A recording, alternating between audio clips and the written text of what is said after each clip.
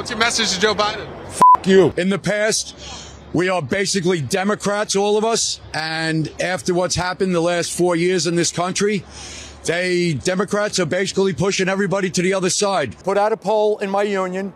President Trump is leading Joe Biden three to one on my presidential poll out of my 9,000 members. USA! USA! USA! USA! Close in New York, I understand, and we're leading in the country by a lot.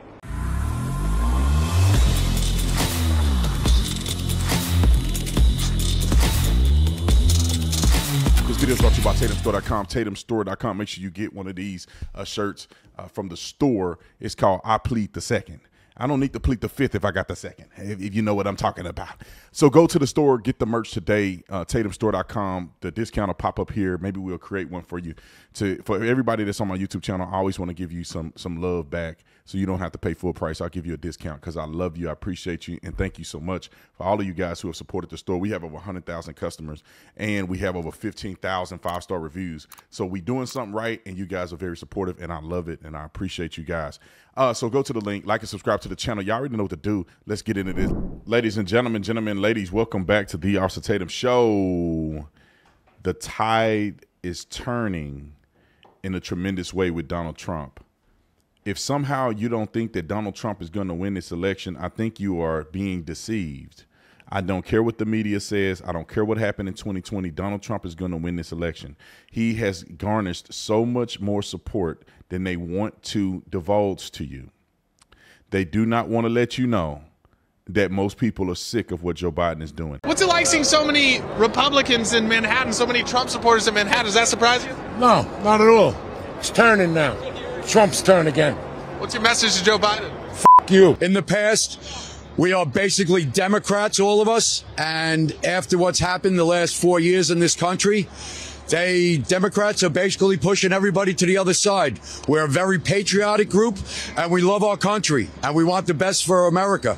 We are tired of immigration. We're tired of our tax dollars going to immigration. We're tired of the crime. We need to put a handle on things in this country and bring it back to how it should be. I put out a poll in my union. President Trump is leading Joe Biden three to one on my presidential poll out of my 9,000 members right now. We are very tired of the situation with groceries, uh, inflation, gas prices, illegal immigration, crime. We're living it every day in New York City. USA!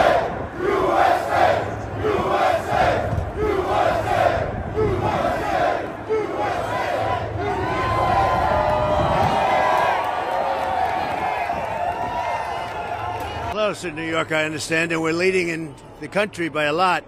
Uh, poll just came out a little while ago, as you saw yesterday, that we have we're up in every swing state and up by a lot in every swing state. So uh, I think we're going to do very well, and we're going to make a play for New York. It's they said I just heard there was a very good poll came out. Uh, normally, a Democrat will win New York.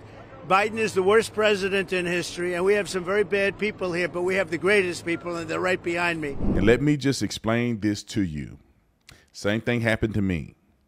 Republicans don't do a good job at winning Republicans or winning people over to the Republican Party. The Democrats do an incredible job at winning people over to the Republican Party. I didn't become a Republican because of Republicans. I really didn't. The Democrats were so insanely bad for what I believe would be the best opportunity for America to grow and prosper and to be great they were so opposed to that in their rhetoric and their policies that it pushed me away from them to my only other option, which was the Republican Party. And when I got there, I realized that I was a Republican this whole time and that I was never a Democrat. And I had been deceived and confused and delusioned by the propaganda that's on television and in music and in culture that I believed that the Democrats were for the for the people, and the Republicans were were stuck up white folks that just had money, and that's all they cared about was their bottom line. Then I realized, oh crap, I've been lied to. I am being deceived, and I got mad. And I said, I'll never support people like this ever again. And I think a lot of people in America are seeing it. I mean, abortion. Okay, ignorant ignorant women and beta males support abortions. Ignorant women and beta males. If you're listening to me and you support abortion, you're an ignorant woman or you a beta male. I don't care what nobody say about that. It is crazy to me that a woman will support abortions. And, and I'm saying abort. Let's not let's not talk about the lie that they tell you the life of the mother and rape and incest. Y'all listen. If that was what you cared about, then just say that. Only these we can have a window of opportunity for people to have an abortion in these areas. No, no, you you think it's my body, my choice, and a woman should be able to do whatever she want to do with her with that man kid, because it's his kid too. But a woman should be able to be selfish and crazy, and murder her own child because she feel like it. I don't know. Maybe the child she think the child is gonna be gay when it grow up, huh? Do you like that analogy?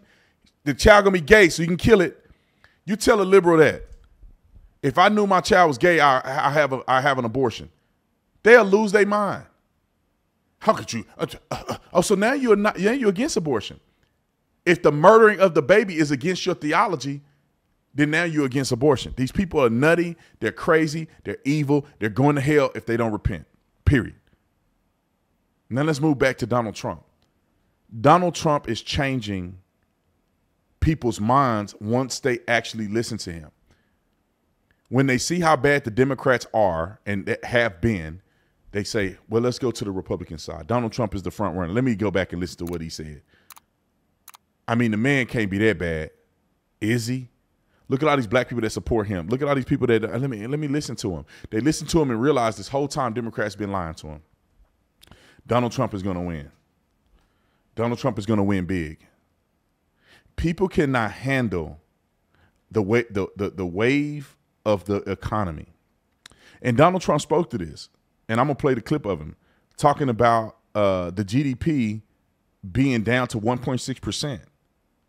Roll clip two. As you probably have heard, some very big things have happened, but the biggest seems to be that uh, the GDP just announces all the way down to 1.6 percent, and it's heading south. It's going to get worse.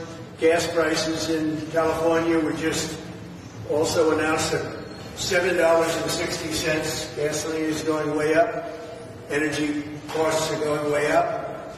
And the stock market is, uh, in a sense, crashing. Uh, the numbers are very bad. This is Bidenomics. It's catching up with him. It's lucky that it's catching up before he leaves office as opposed to after he leaves office. But this is Bidenomics. It's destroying our country at the border, destroying our country with other countries. They no longer respect the United States. I think the dollar's in tremendous trouble in terms of currency. This is going to be the standard, and it's going to be the standard with me. With Biden, you're going to lose. The dollar is the standard. That'll be like losing the biggest war we've ever lost. And it's a shame, but it's uh, all the way down to 1.6, and I'll tell you, nobody thought that would be possible and it looks like it's heading down from there. Think about that for a minute.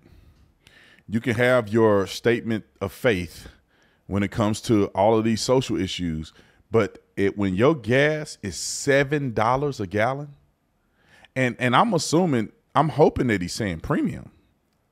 If regular unleaded is seven dollars, that means premium gas is almost ten dollars a gallon.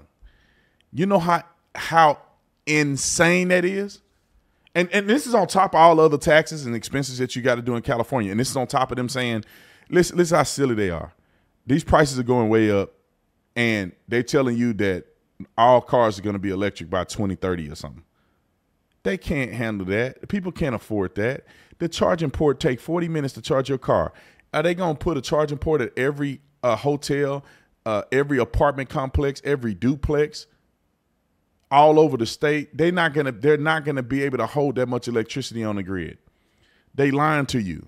And what what who's gonna deliver these vehicles into production and from production into the city or states, car dealerships? It's gonna have to be a diesel truck because they don't have electric trucks available right now at that number that can completely take over all of the uh, diesel trucks. It's not gonna happen, brother. They're lying to you. They're dirty, sorry, mother, you know what's, and they need to be voted out of office. They're evil. They're demons. They're devils. And I and, and I, I'm saying this because we need to stop, you know, towing the line and being nice and sweet to these people and call them for who they are. These people are devils and they're they're destroying America. If if what Donald Trump said, which I think he wouldn't lie about this because he's probably looking at a report, if the GDP is down to 1.6 and headed downwards, that is fatal for many people in America. Inflation being high is fatal for people in America. Gas is up, groceries are up. Your wages are not going up and it can't go up. Devastating for Americans. And it's all because of what Joe Biden is doing. And on top of that, what is he doing? While you're suffering, while you're contemplating suicide, which I would argue never do that, call a hotline, get some help, talk to somebody because it's too final. But in an economy like this, people are contemplating it because they're losing everything. They don't know where they're going to live. They don't know. They, people, some people, not all, some people don't have enough money to to survive. Now, if you're, you're looking at this these elements and these things that are going on, and you see Joe Biden not even trying to prevent millions of illegals from coming into America. And he gets on television and apologizes for calling Laken Riley's killer an illegal alien and says he's just undocumented. Then they get to these major cities that have been pumping their chests out saying that we are sanctuary cities and they're bombarding these cities and they're using your money, hard-earned money that they're that they're stealing from you without your consent to give to illegal aliens to make sure they got food to eat, place to stay, and they have a bright future in America. But they're not making sure you have a bright future. They're using your money to make sure they have a future. You are dying on the inside. Your bank account is drying up. You don't know where your next meal coming from. And they steady taking taxes and then they go give it to them so they make sure they know where their meals are coming from and they know where they're going to stay. And they're trying to get them in education and get them trade and get them law- lawyers. And they're doing all this for people on your money. You don't get nothing for free.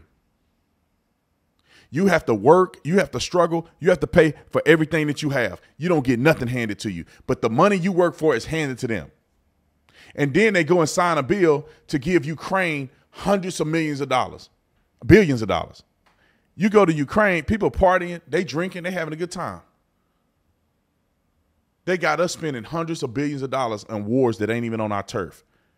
And you got these dummies at universities talking about pro-Palestine, crying and, and, and threatening people, and that conflict ain't even in America. This is Biden's America.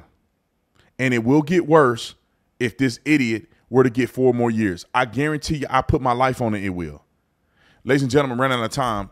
Y'all stay tuned. Hold the phone. I'll be back after the break.